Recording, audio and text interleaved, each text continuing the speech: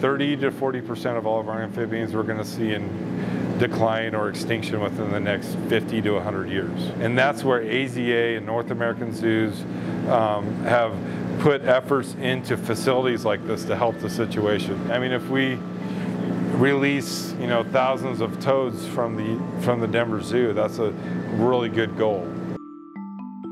Boreal toads are uh, they're high, high altitude amphibian, um, so they're the Colorado's only high altitude toad, so they live from 8 to 12,000 feet. Why we think they're so important is because they're really an indicator species for what's happening in ecosystems and wetlands. And amphibians, in particular boreal toads, are a really great indicator because amphibians, they basically breathe through their skin. And so they're just a sponge. So whatever is going on in the water enters the body of the animal. And so if there's something that's going on, something that's not healthy with the ecosystem, amphibians are the first ones we'll see it. So we're seeing boreal toads, which used to be really abundant and widespread. So there were reports of them hanging out under streetlights in Buena Vista. And now there are, there are biologists with CPW who say there are maybe only 800 adult toads left. So this is, that's our goal, is to provide that assurance population where we're breeding animals, releasing them into the wild, and it's really acting as a supplemental part of the population. This is a refrigerator. You can see it at 37 degrees right now. We put these guys down in October and gradually brought them down in temperature to get basically to that uh, degree and then over the next couple of weeks we're going to be slowly raising them up in temperature to put them out into the uh, the other containment systems you see over here. And they just sit in here and wait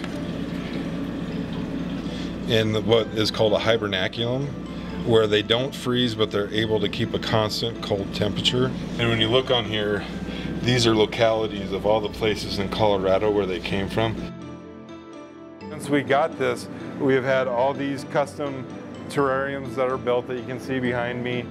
It was a challenge. One of our aquarists, Kent Weisenflew, um, he's awesome at building these systems and has been for years, so we, we got together and talked about how we could make it work. Nine, nine house uh, different localities from Colorado, and we have one, uh, one locality from Utah.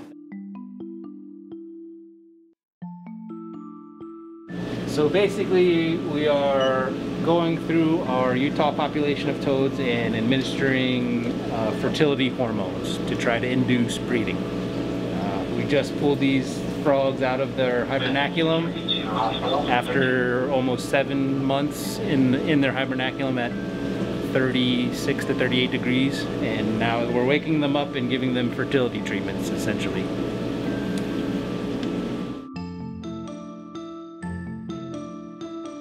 You can certainly see those highlighted markings there clearly identifiable right there. That little dot little dot in the middle with four surrounding dots.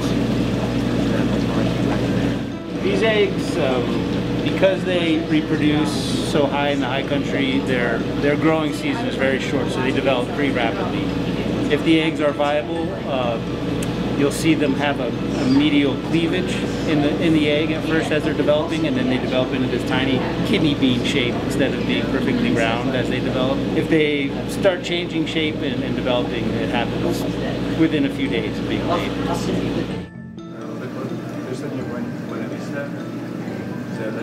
The next week is just monitoring, checking how many we actually have.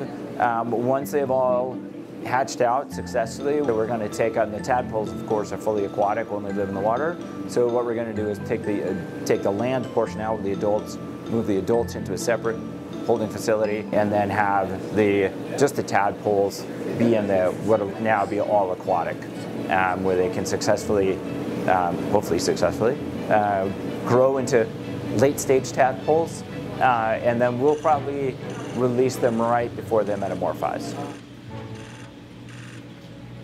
Oh, tomorrow's gonna be a long day. We um, animal staff is gonna get here probably between 4 to 5 a.m. tomorrow. Uh, individually count each tadpole, bag them up. We're treating them pretty much like fish, where we put them in a fish bag with the water from their aquaria, um, inject a bunch of straight oxygen into the bag, and then uh, put them in a bucket to transport them. And then it's about a four a little bit more four-hour commute to Pitkin, uh, and then the site is about another 45 hour from Pitkin, Colorado, and then from there it's about a half mile hike in to the wetland. So tomorrow we're gonna have approximately 500.